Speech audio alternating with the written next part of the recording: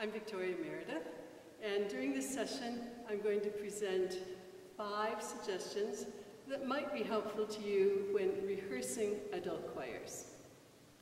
Number one, slow down. This is the one that's hardest for me. When I go into rehearsal, I'm always excited and happy to be there, and it's like everything goes in fast motion. I talk fast, and I move fast, and we work fast, and we get lots done in a little bit of time. But the difficulty is that a lot of people in uh, an adult choir these days have a little trouble hearing. And if you talk that fast and you work that fast all the time, they really can't follow what you're saying.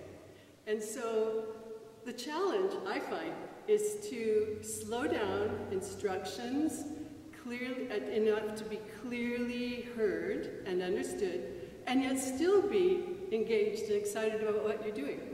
The other time it really helps to slow down is when you're giving pitches, because if you just go, which note is yours? I don't know. Is more helpful for people to actually zero in on what their note is. So just slowing it down uh, can be helpful. Now, another reason that this is uh, important is that as we age, it takes longer to process things. Uh, what information we take in takes longer to understand. The instructions we're given, the things we do like turning pages, following cues, following instructions, just take a little bit longer. I'm sure many of us have had this darling soprano in the front row who you have just said, we're going to start on the top of page three, and you're ready to give the downbeat, and just, where are we? Where we're starting, and she's looking at the person on her right and the person on her left, and she's trying to figure out where, and it's not that she wasn't paying attention, and it's not that she doesn't care. It's just that things are slower, and it's harder to focus, and it's just harder to stay with. And so we have to just be patient. It really helps if you can keep a sense of humor, and just give them some time. So um, consider just slowing things down, not getting too upset when people aren't right with you all the time. It's really not on purpose. And the other thing uh, in terms of slowing down a little bit, I find useful sometimes is sometimes doing um, fewer pieces so that I can spend more time on fewer pieces in order to allow secure learning to really take place instead of just learning everything as quickly as we can. Just slowing it down, maybe not doing quite as many pieces. So that's tip number one, slow down. And that's mostly for myself. Number two, when I'm learning a new piece or teaching a new piece, I really like to use uh, what a lot of people do, uh, which is a big picture, zoom in, big picture approach. So by that we mean first big picture is just sight read through the whole thing so you get an idea of what the whole piece is. And that might happen in one rehearsal. You might not do anything else with that piece in that, that rehearsal. But then the next part, you start taking it all apart. You start working on the difficult sections, you divide it up into sections, you take the musical uh, elements separately, maybe work on the notes, then work on the rhythms, work on the text, put them together. And gradually then, we start putting bigger and bigger chunks of the music back together so that we end up yet again with the whole big picture. This time, hopefully, much better than the first time we had a big picture when we first sight read it. Because then we've worked through all of the things that are in it, but we can't just leave it there. We have to put it back together. So, big, little, big. Third uh, tip for rehearsing adult choirs, and I'd say of all the things I'm going to say to you today, this is the most important, and that is to stay aware of the ranges of each part throughout the rehearsal.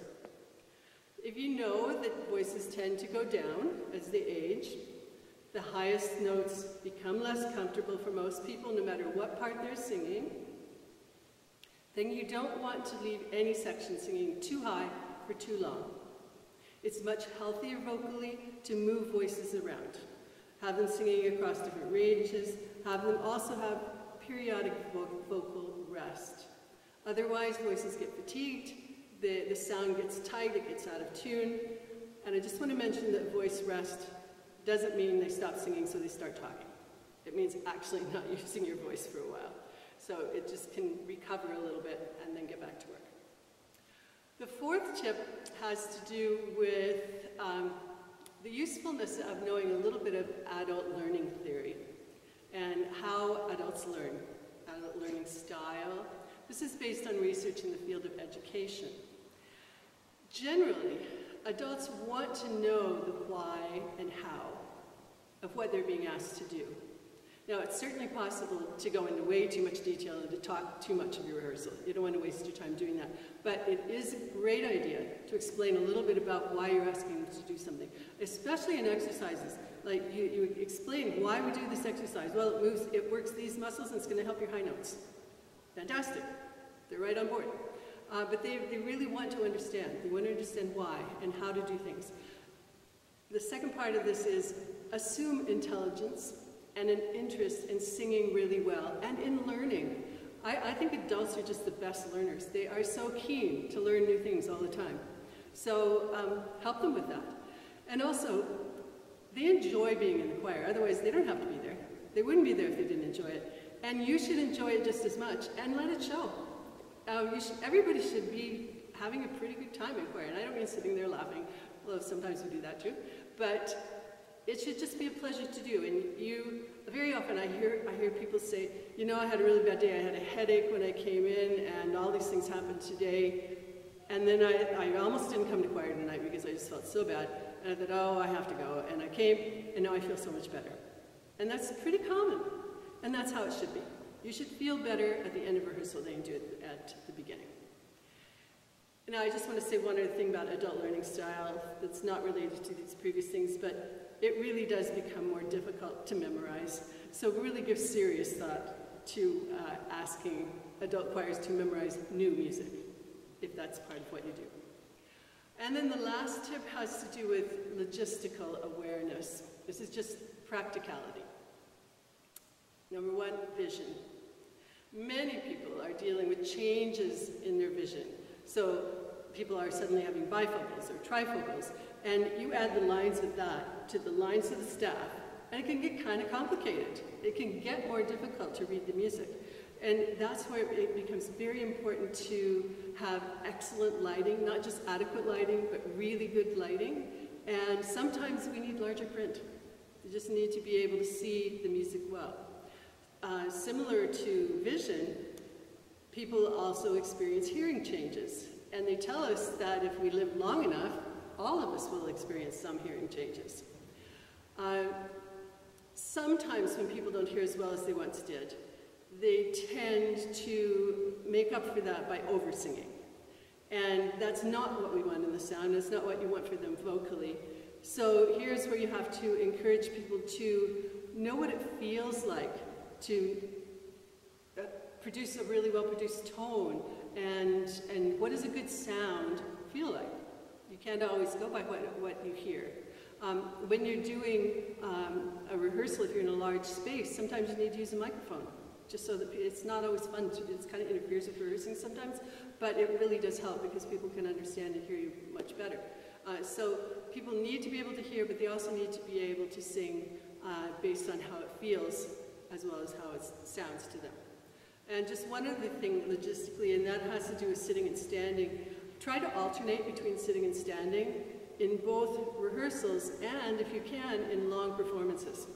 This is because of balance, especially if you're on risers or steps. Uh, a lot of times it's just not safe for people. Uh, and that's partly because their balance isn't as good as it used to be. Also, leg strength is not as strong as it used to be. And fatigue that just sets it. So in conclusion, just to review, the five main suggestions for rehearsing with adult choirs that I'd like to make to you are slow down, work big picture, zoom in, big picture, stay aware of ranges of each part, not just sopranos, but where each of the voices is lying within their own range. Think about how adults learn, and be aware of logistics like lighting, hearing, seating. I hope that you'll take even one or two of these suggestions away with you and that it will make your work with your adult choirs even more successful and enjoyable. If nothing else, please try to remember not to leave any part singing too high for too long. Thank you, and all the best to you and your choir.